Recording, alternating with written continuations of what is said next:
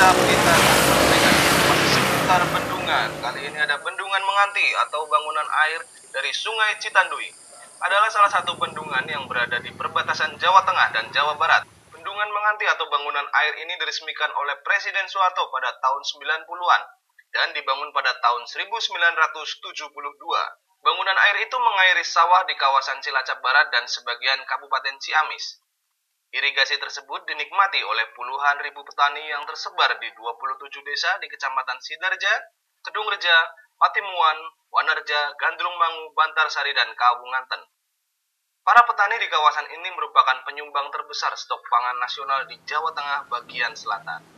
Oke, jangan ke mana-mana. Kita...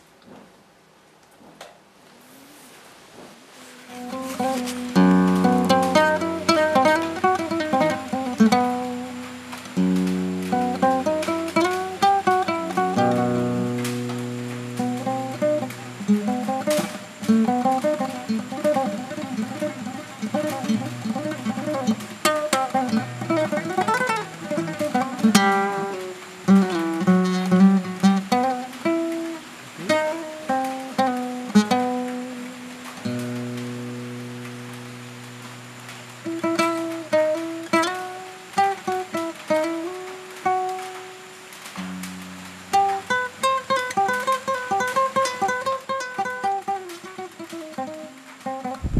anak memang ini sudah lama. Setelah bendung menganti jadi, ini memang enggak keluar hasilnya apa saja.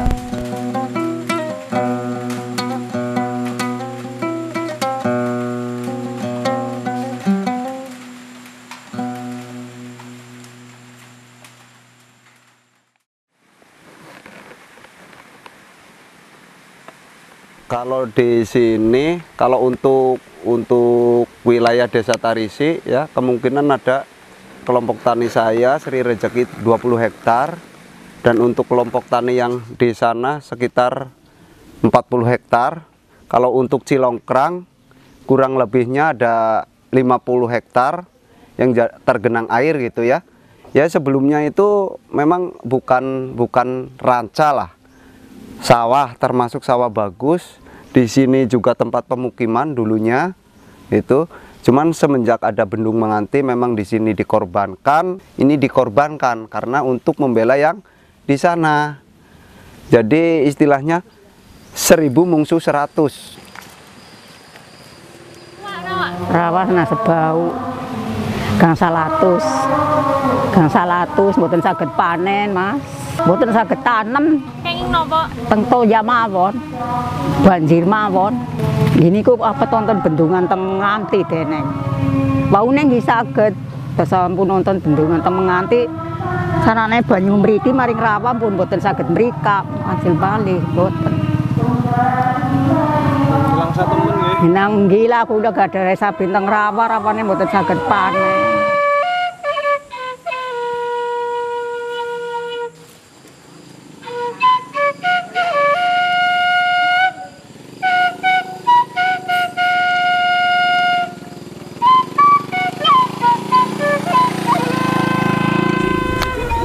Awalnya daerah sini saya rasa bagus itu. Itu sumber sumber tanaman itu pari sama palawija kalau musim musim kemarau itu bisa ditanamin palawija contohnya jagung kacang-kacangan gitu subur masyarakat sini. Program pemerintah ini ya maksudnya sih gimana ya? Antara lokasi sini dipertimbangkan sama lokasi yang diairi itu lebih banyak di sana. Ya memang sih bagus-bagus itu tanaman di sana jadi sawahnya ya termasuk subur lah. Tapi ya belas ini ini yang jadi korban ini. Tergenang air terus. Mungkin kayak gitu. Jadi mungkin lebih baik mengorba, mengorba, mengorbankan yang sedikit daripada yang banyak gitu. Mungkin kayak gitu. Tapi kan masyarakat sini kasihan.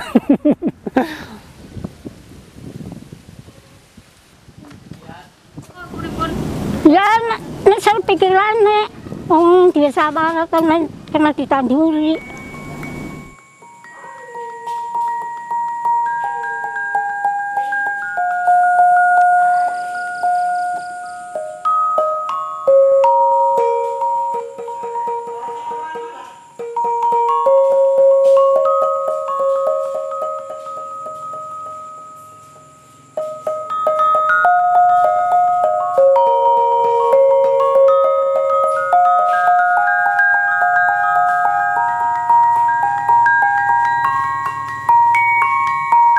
Semenjak apur dibikin gitu ya cuman penggalian penggalian solusi eh, drainase drainase yang tidak berfungsi itu di- digali.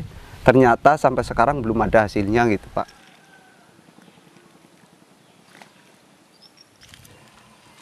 Mengenai sawah yang diuruk itu sebelumnya eh, se, se- seakannya ini membuat apur ini kan ada gunung yang di sana. Ini tanahnya tanahnya banyak itu mau diuruk ke sawah. Tapi ada saya dengar ini ceritanya sih ya ada salah seorang yang menghalang-halangi itu. Jadi nggak boleh tanah itu diurukkan ke rawa.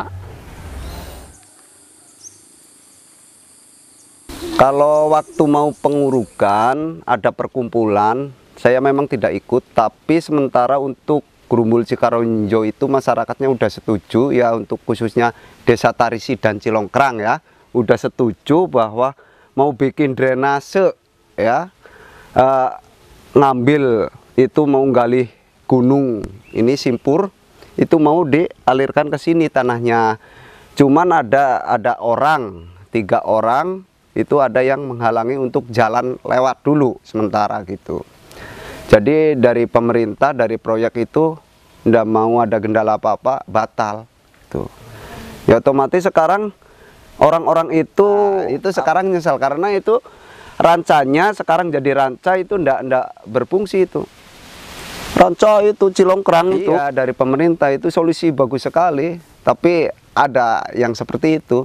Iya, tadinya mau di sini dulu bikin pemukiman, nanti airnya bi- supaya bisa turun ke drainase gitu. Ternyata yang untuk lewat itu tanah orang itu sementara gitu, tapi tidak boleh. Padahal dari pemerintah katanya itu nanti kalau udah lewat bisa bikin pemukiman itu mau digali lagi. Sekarang menyesal kan. Kalau orang Tarisi khususnya untuk RT 05 Dusun Cikaronjo ini udah-udah siap. Udah siap pasangan patok bambu satu-satu tiap batas-batas. Ini kulo ta derek mawon nonton sing Malang sarane Mas. Nonton mawon sing Malang wong tiar ke atas. Jane ngger waune sing pihak Cilongkrang uli nggih gaedal teng mriki niki kene pun dadi sawah bener.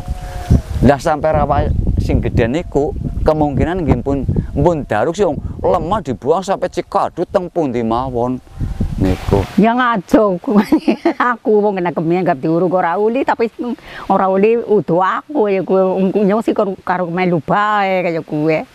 Carane ana sing Malang kaya kuwe.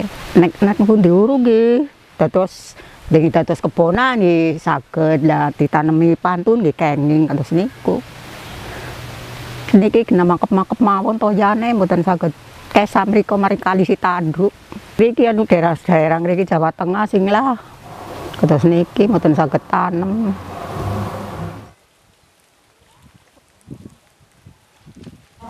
Satu suping. Iya. Biyen nganu kenging napa niku sawahe mboten purun diuruk omah. Rentelnya sami mboten angsal pak disiral napa dados kula kanten manut mawon ajeng diarep nggih mangga mboten nggih kersane Ingin anu saged digarap mboten, Mbah?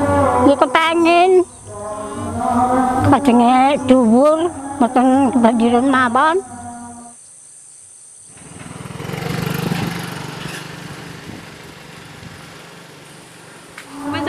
bayar pajak mboten, Mbah? ya? Gue pajak dina sampean taun. Kula bayar. Nek janggolan nggih kula mboten nyukani apa mboten panen. Nek wonten sing narik janggolan nggih mriko nyeduk banyu.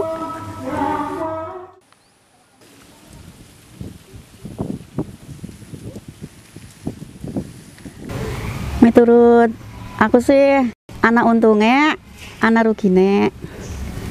Untungnya aku dagang dadi rame, akeh wong pada liwat mancing, pada mampir tuku jajan, tuku rokok lah.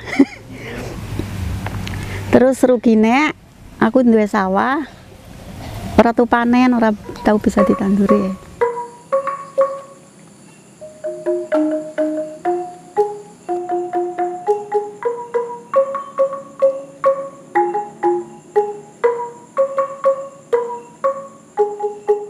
Eh, kalau untuk eceng gondok di sini belum ada.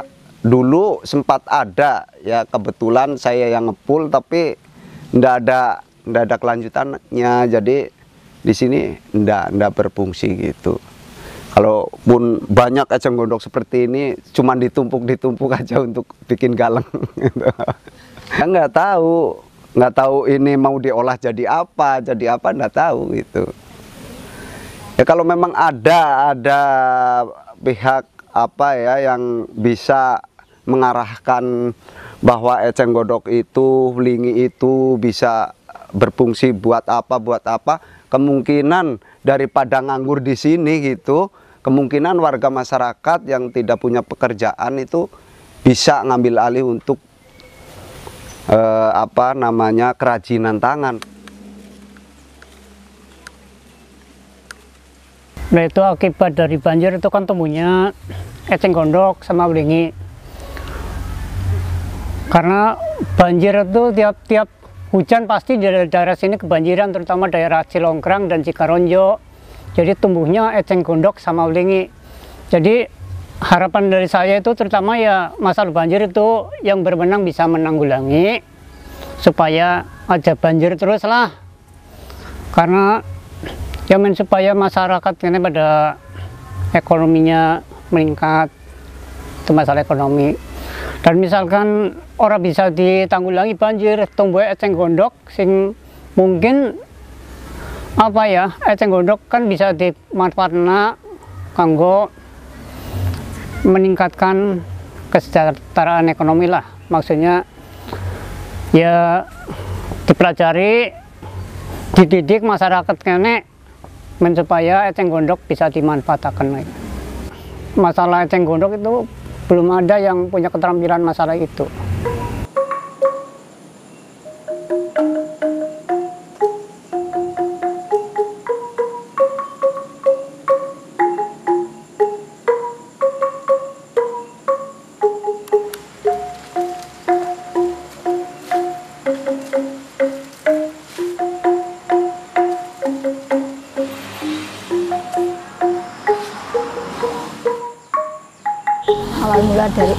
Kerajinan eceng gondok pertama-tama ya masyarakat antusias lah adanya eceng gondok daripada jadi sampah kan sayang itu ibu-ibu ibu Karangbawang sini masyarakat Karangbawang sini itu mempunyai gagasan supaya ingin sekali kerajinan eceng gondok itu terwujud gitu.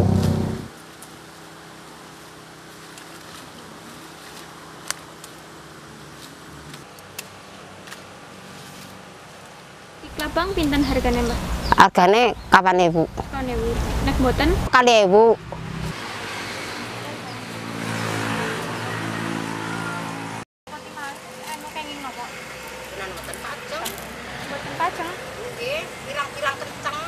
Jadi ini dibalakaken malih. Nggih.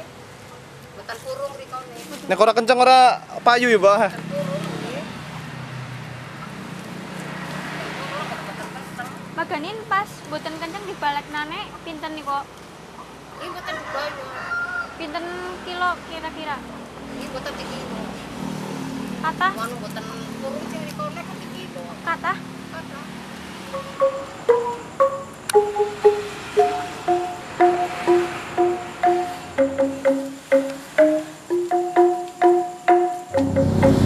kan ada yang buat bikin itu tambangan tambang. Kayak gitu kan cuma dijual begitu aja belum dikasih motivasi apa-apa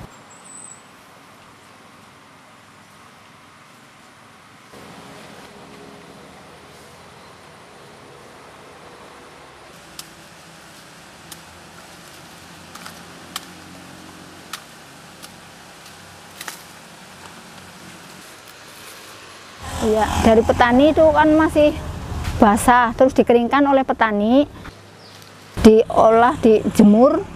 Setelah dijemur dijual ke kelompok kami. Terus di pertama-tama kalau mau dibikin dicuci sama H2O2. Ya. Terus dibuangin itunya digunting.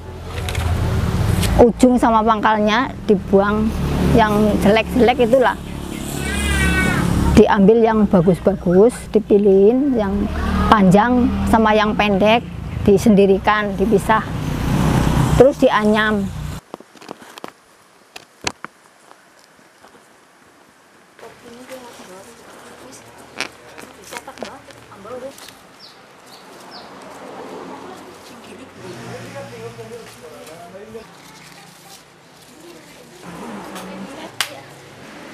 Itu harga produk kami yang terkecil adalah paling kecil itu bros. Bikin bros harganya 3.500 yang terbesar 75.000 itu tiker yang bulat bisa buat taplak meja bulat. Terus yang satunya tas tas belanja harganya 75 terus bikin tas ibu-ibu. Ya ada yang 50 ada yang 45 terus bikin itu tatakan. Tatakan sama tempat bunga. Pas bunga kecil itu loh. Terus apa lagi? Banyak lain-lain